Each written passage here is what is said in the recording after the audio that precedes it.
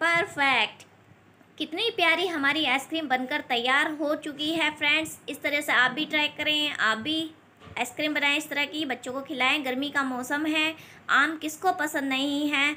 सबको पसंद आते हैं आम। आम से बनाई है मैंने ये आइसक्रीम कुछ ही मिनटों में फ्रेंड्स देखिए, बिना बर्फ़ के जब बनी है, ना इस पर कोई बर्फ़ की लेयर है।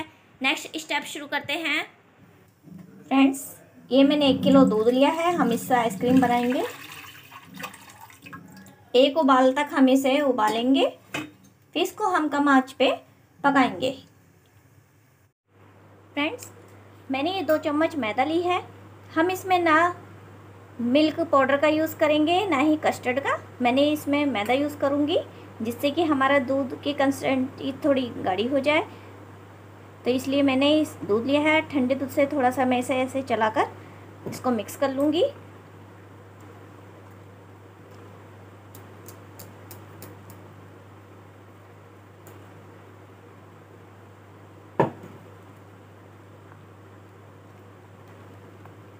इससे अच्छा सा घोल बना के हम तैयार कर लेंगे। फ्रेंड्स, इस तरीके से ट्राई करिए, बहुत अच्छी आइसक्रीम बनकर आपकी तैयार होगी। चैनल को सब्सक्राइब करें फ्रेंड्स। आपको इस तरीके की डिश मिलती रहेंगी, रेसिपी बढ़िया बढ़िया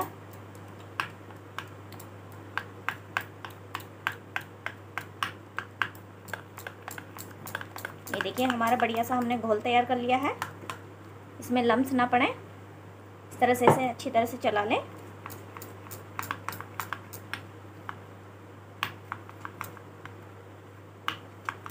ये देखिए परफेक्ट हमारा घोल तैयार हो चुका है।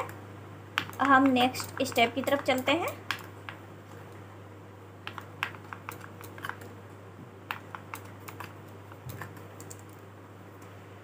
देखिए फ्रेंड दूध में हमारा उबाल आ चुका है।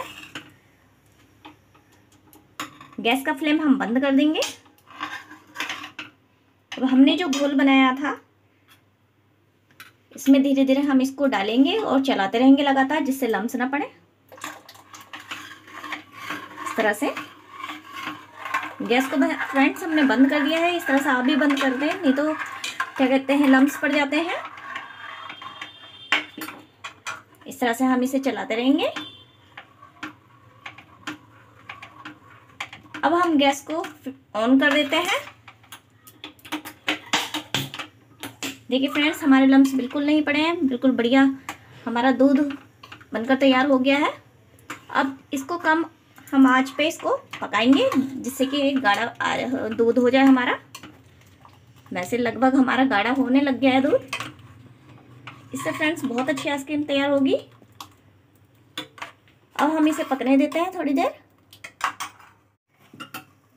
देखिए फ्रेंड्स हमारा ये लगभग पक चुकी है, इसमें जो मैदा डाली थी हमने, इसका कच्चापन निकल गया है। काफ़ी गाढ़ा दूध होने लग गया है। ये देखिए, इस तरीके के हमें दूध चाहिए था। अब हम इसमें शुगर डाल देंगे। अपने स्वाद के अनुसार शुगर डालें। अब हम इसे पकाएँगे। फ्रेंड्स चीनी हमारी मेल्ट हो चुकी है। अब हम गैस को बंद कर देंगे और इसे ठंडा होने के लिए रख देंगे। फ्रेंड, जब तक हमारा दूध ठंडा हो रहा है, जब तक हम आम को छील कर इसकी कटिंग कर लेते हैं। मैंने दो आम लिए हैं। फ्रेंड्स ये मैंने आम के टुकड़े कर लिए हैं। अब हम इसे जार में डालेंगे। इनका बढ़िया सा पेस्ट बनाएँगे।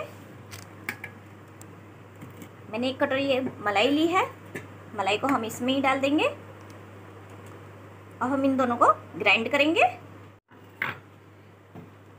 ये देखिए फ्रेंड हमने ग्राइंड कर लिया है। देखिए कितना अच्छा पेस्ट इसका तैयार हुआ है। क्रीमी क्रीमी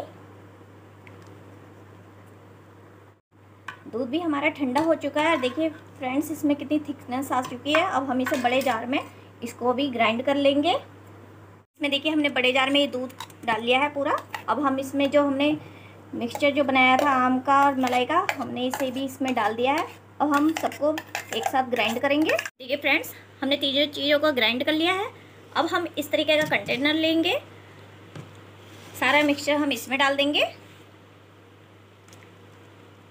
ये देखिए फ्रेंड्स कितने बबुल्स इसमें उठ रहे हैं। हमें यही चाहिए था। बिल्कुल बाज़ार जैसी क्रीमी क्रीमी हमारी आइसक्रीम बनकर तैयार है। इसको हम ठंडा करके खाएँगे।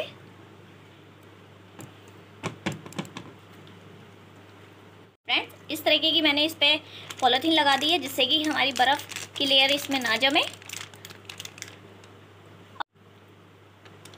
लेट से हम इसे बंद कर देंगे। मेरे पास ये आइसक्रीम की डिब्बी थी। हमारा पेस्ट बच गया तो हम इसमें डाल देंगे और इनमें भी जमाएँगे।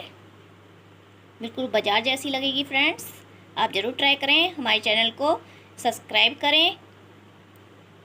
अब हम इसे रख देंगे आठ घंटे के लिए ठंडा होने के लिए। देखिए फ्रेंड्स हमारी आइसक्रीम जम चुकी है। ये देखिए कितना अच्छा इसमें टेक्सचर आ रहा है। देखिए, आठ घंटे हो चुके हैं, अब हमारी आइसक्रीम जम चुकी है। ये देखिए, ना बर्फ़ है इस पर कितनी अच्छी हमारी लेयर आई है, ये देखिए। कोई कह देगा ये दूध से जमी है?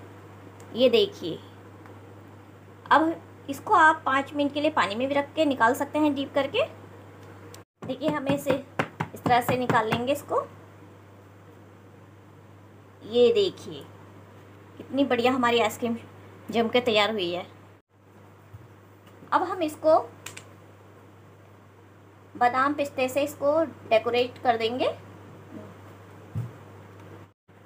ये देखिए, अब हम इसके पीस कर लेंगे।